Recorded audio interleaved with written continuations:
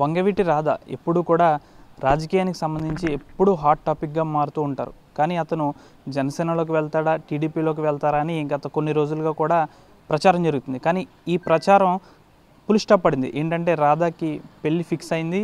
ఆ పెళ్ళికి సంబంధించిన వధువు ఎవరో కాదు నర్సాపురానికి చెందిన మాజీ మున్సిపల్ చైర్పర్సన్ జక్కం బాబ్జీ జక్కం అమ్మానీల రెండవ కుమార్తె పుష్పవల్లి. ఏదైతే మనం గతంలో చూసుకోవచ్చు. ఎప్పుడూ కూడా వంగవీటి కుటుంబానికి సంబంధించి రాధా ఎప్పుడు పొలిటికల్గా హాట్ టాపిక్గా మారుతూ ఉంటారు. అతను ఎక్కడి నుంచి పోటీ చేస్తాడు?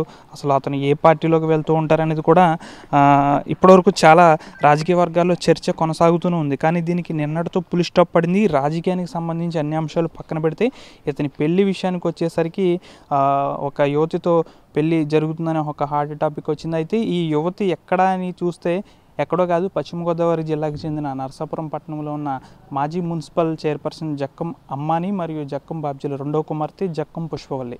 అయితే మనం చూసుకోవచ్చు ప్రధానంగా ఇది గతంలో కూడా పవన్ కళ్యాణ్ వారాహి సభకు సంబంధించి వచ్చినప్పుడు రెండు రోజులు కూడా ఈ ఇంటి వద్దే పవన్ కళ్యాణ్ బస్ చేశారు. ఈ ఇంట్లోనే కూడా రెండు రోజులు ఉన్నారు. ముఖ్యంగా మనం అప్పట్లో గత పవన్ కళ్యాణ్ వారాహి సభ అప్పుడు కూడా పవన్ కళ్యాణ్ పూర్తిగా రెండు రోజులు కూడా వీరింట్లోనే ఇదే నివాసంలో ఉన్నారు. అయితే సాధారణంగా పంతొమ్మిదో తారీఖున ఇక్కడే ఈ నర్సాపురంలోనే నిశ్చితార్థం జరగాలి. ఆ తర్వాత పెళ్ళి కూడా ఫిక్స్ చేస్తారు. పెళ్ళి విజయవాడలో పెట్టుకున్నారు. కాకపోతే కొన్ని అనివార్య కారణాలు ఏదైతే ఈ యువతి తరపున బంధువులకు సంబంధించి కొన్ని అనివార్య కారణాల వల్ల ఈ మొత్తం ఈ నిశ్చితార్థం పెళ్ళి కూడా నిలి నిలుపుదల చేసిన పరిస్థితి కూడా ఉంది. అయితే బంధువులు చెప్తున్న వివరాల ప్రకారం ఇరవై ఏడు తర్వాత అంటే ఈ నెల ఆగస్టు ఇరవై ఏడు తర్వాత మొత్తం ఈ ఈ బంధువులకు సంబంధించి కొంచెం సంప్రోక్షణ కార్యక్రమాలన్నీ అయిన తర్వాత ఆ తర్వాత రిసెప్షను పెళ్ళి కూడా పెట్టుకునే ఆలోచనలు ఉన్నారు. ముఖ్యంగా చూసుకుంటే కనుక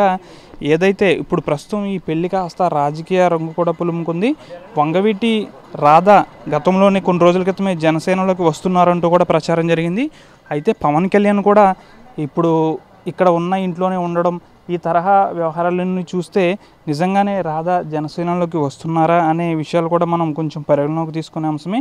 ఇంకొక అంశం కూడా గట్టిగా ప్రచారం జరుగుతుంది. ఏదైతే ఈ జక్కం అమ్మాని జక్కం బాబ్జీల కుమార్తె కూడా ఎక్కడి నుంచైనా జనసేన తరపున పోటీ చేస్తారా అనేది కూడా కొంచెం ప్రచారంలో ఉంది. అయితే వీటన్నిటికీ పులి స్టాప్ పడాలంటే ఈ నెల ఈ కార్యక్రమాలన్నీ పూర్తయిన తర్వాత పెళ్ళి జరిగిన తర్వాత కొన్ని రోజుల తర్వాత కూడా ఇది పూర్తిగా వీటికి ఆన్సర్ వచ్చే అవకాశం ఉంది. ఏదేమైనా కానీ నర్సాపురం పట్టణానికి సంబంధించి ఈ రాధాకి ఇక్కడ అల్లుడు కావడం ఈ నర్సాపురానికి సంబంధించి చాలా ఆనందం వ్యక్తం చేస్తున్నారు.